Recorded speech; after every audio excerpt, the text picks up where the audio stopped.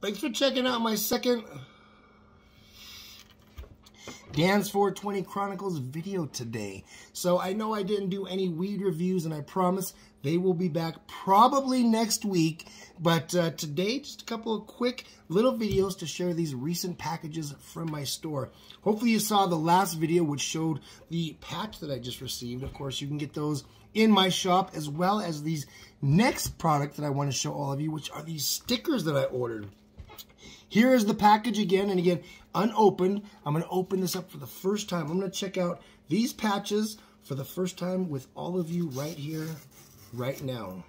We've got that ripped open, and let's take a look what we've got here. I ordered two patches. First up,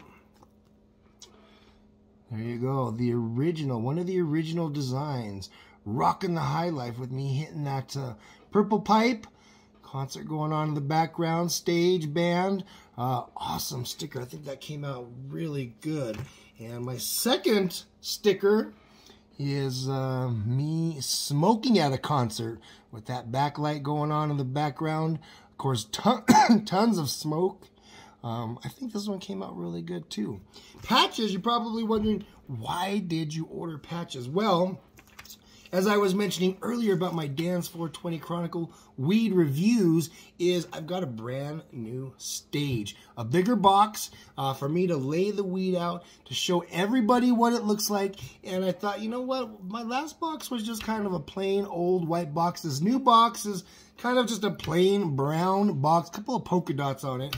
But uh, I thought, why not spruce it up? Why not decorate it with some original that's right, Dan's 420 Chronicles content. So these stickers will be placed on the new stage along with some other um, stickers. Probably going to put some band stickers on there to share to share that with.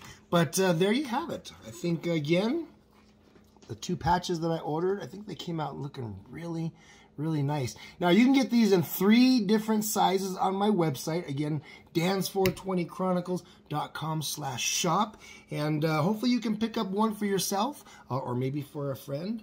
And uh, while you're there, browse through my t-shirts and, of course, my tank tops. Perfect weather for tank tops. I know it's getting warm here in Colorado. Hopefully you're enjoying some nice weather where you live.